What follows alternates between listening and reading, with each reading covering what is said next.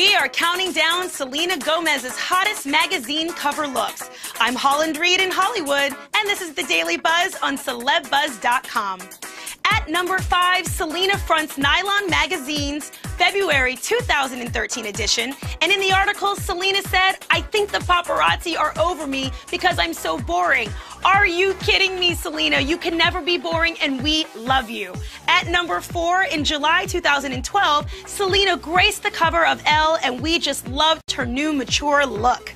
At number three, we loved, loved, loved Selena in pink on the cover of Cosmopolitan in March of 2012.